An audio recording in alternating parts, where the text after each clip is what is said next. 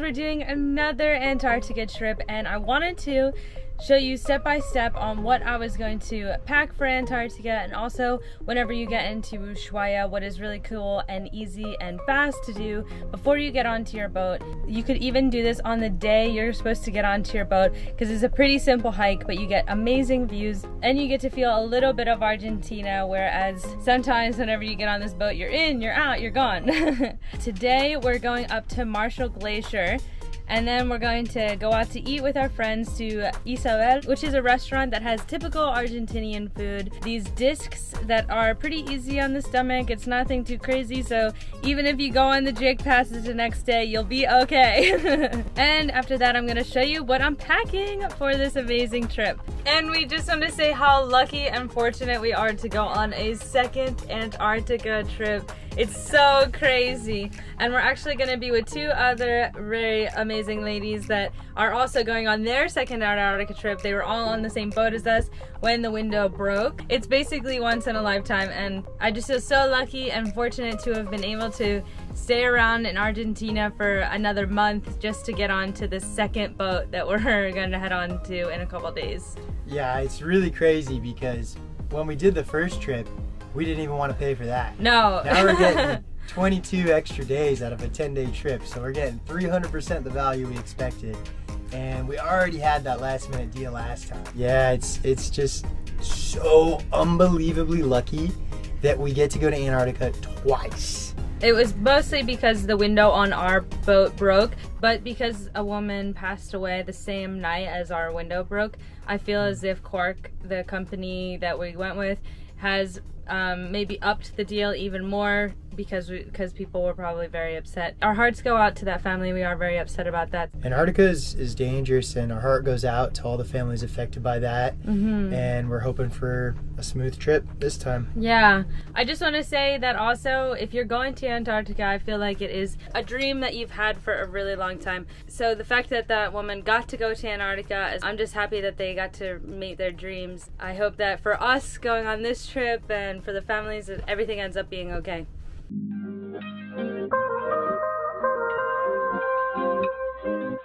So this trip is only 15 minutes away from the center of Ushuaia and you can do a taxi up here pretty easy.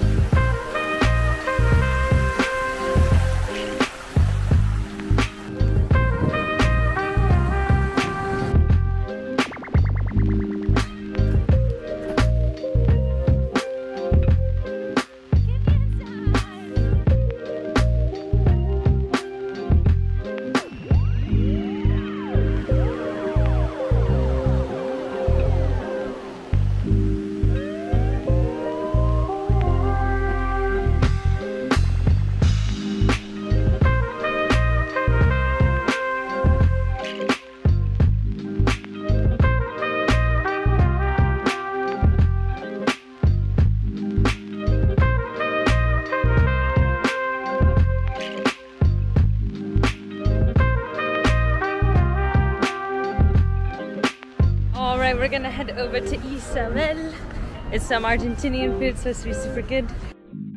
After we got showers, just kidding, we didn't get showers. We just changed our clothes because we don't get showers. Let's check it out. so Isabel specializes in discos or these big metal discs that they put into the oven with different meats and veggies and sauces and it all cooks together. They have two sizes. You can either get it for two people or for three people. The vegetable one is also vegan. It is plenty of food and super delicious.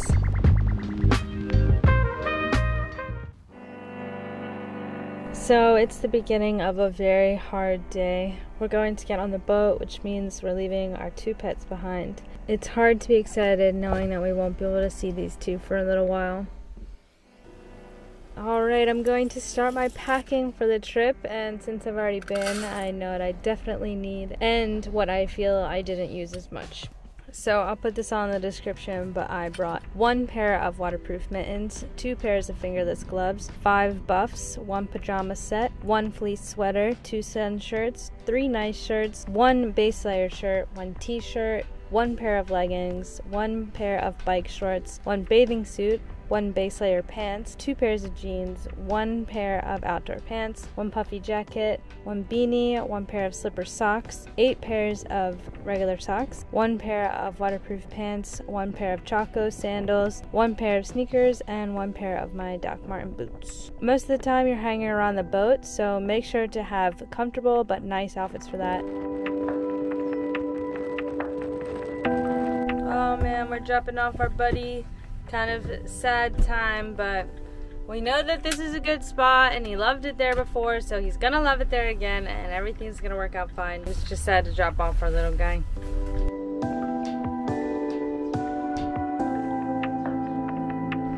Oh, next we're dropping off our lady. After this trip, I definitely don't want to leave them again.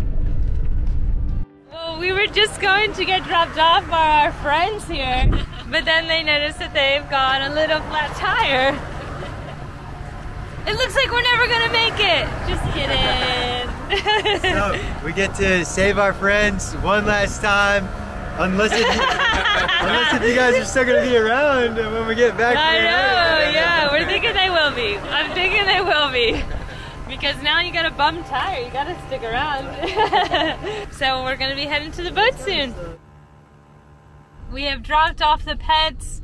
We've made our rounds around Ushuaia. And right when we were trying to leave, what happens?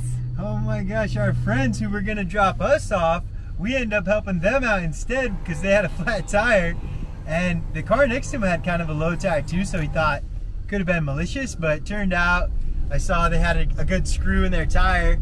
So I changed out of my fancy boat clothes and got the compressor out of the trunk and we were able to get them pumped up and on the way to a tire repair spot. Now we have 40 minutes to make it to this boat. We're gonna make it on the boat, but we were we're just kind of decompressing, still sad about leaving our about leaving our pets, and then and also sad about leaving the friends. Yeah, we've been traveling together for a month, which is like so rare that we see the same people for a month.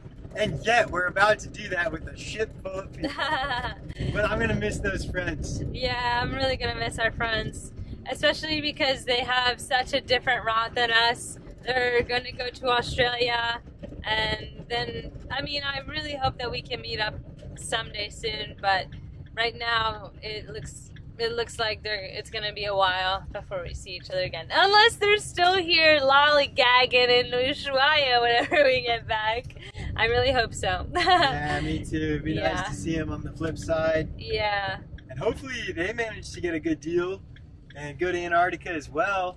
Yeah. I think then they'd have enough time that we'd see him on the other side. For sure. It's time to drop off the van. Yeah. With dropping off the van, we're going to also um, clean it a little bit. We're going to take out the trash. We're going to take out a fuse so that if someone tried to steal the van, they couldn't, which is kind of cool. Dump the gray water. Dump the gray water, do all that kind of stuff. And we better do it quick. Yep. I think we're okay we had just enough time to save the friends. What a way to say goodbye to our van friends. Yeah. That was so insanely epic. Oh, one last look at the van before we head off. We've got all of the window covers up. We have the exhaust fan on low just to keep it fresh in here. It's pretty sunny in Ushuaia, so we're not really worried about it getting too low for the van. We cleaned up, we swept, I changed the litter so it doesn't sink in here. While we're gone, we took out the trash, dumped the gray water, got the vinegar in the gray water tank, and took the starter fuse out of the engine even, and hid that. I think I'm just gonna just make sure we didn't leave anything. I have a little bit of a fear of leaving things, honestly. Oh, you know what? I think I'll put a pen in my pocket. Oh, absolutely need this. Oh my gosh, I can't believe I almost left this. This is the thing to make the GoPro waterproof and I almost left it here. oh, well, this is it for the van. Let's see.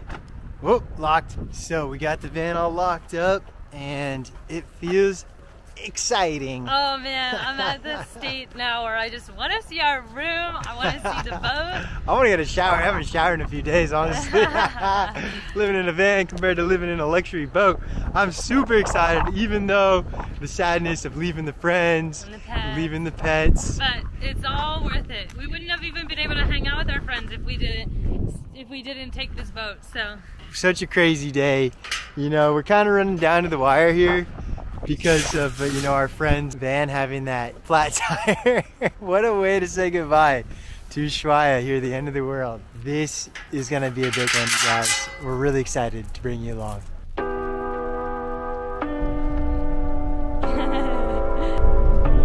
Quite nice. it's sturdy.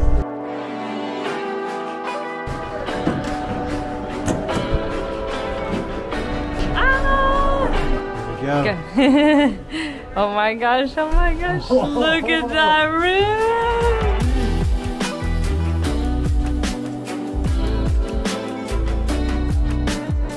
An L-shaped couch? Oh, and all our luggage.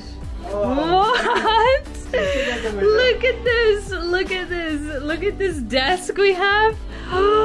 Oh window- my The gosh. window is not the best view. No, there are no there are no time lapses happening out of this window. I can't complain. It was free. It You was free. we'll but wait, look at this. Great, great we can everywhere. see each other right oh, here. Oh, woo, yo, yo, yo. What's this gonna be? Oh, whoa. there's an there's a oh, heated floors. Heated Heated floors. floors. Shower. Oh my god, there's a glacier in the shower. Oh my gosh. Wow, this is a boat that you can live on. We actually have room for more things. Stuff. Yeah. This is the life jacket closet. Okay. Life jackets. Oh, and here's the prices. So uh, caviar is a thousand. Oh, okay. um, So underwear to get a your laundry done. Underwear is two dollars per piece Yes, of underwear. I believe, I believe per sock is a dollar fifty. So good thing we did the laundry. oh, this is so amazing! I'm so excited.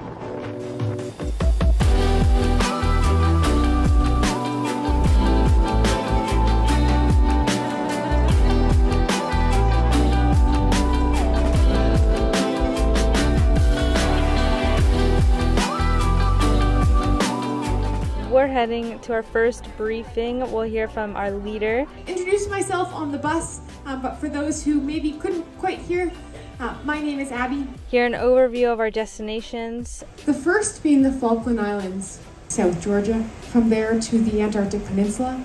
and a reminder to move around the boat with intention. Abby also showed us the forecast for our first day at sea to the Falkland Islands, and to me it looks pretty smooth. Taken off, and look, there's a little dog on the port. Yeah, make sure everything's good, buddy. All done, tied up. We're not tied up anymore, my mans. Thanks, buddy, for being so great. Is he ready to say goodbye? Yeah, he's running. He's got a little life vest on. Yeah, I think he works for them.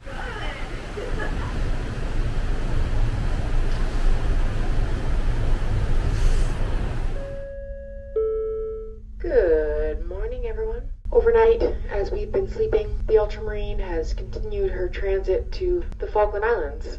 Good morning! We're waking up on the Ultramarine. I can't believe that this is real right now. And breakfast is being served in the Balena restaurant between now and 9:30. And at 9:30, we would like to invite you to the Ambassadors Theater for our mandatory Zodiac and IAATO briefings. Thank you, everyone. All right, we're gonna head to the mandatory Zodiac, just safety briefing, yeah. And now we're gonna hit the gym. It's actually really nice. Thanks so much for getting ready and coming onto this ship with us. We can't wait for tomorrow on the Falkland Islands. Make sure to subscribe and ring the bell to see the entire adventure we have in store. If you want to show us some more love, head over to our Patreon. We'll see you guys next time.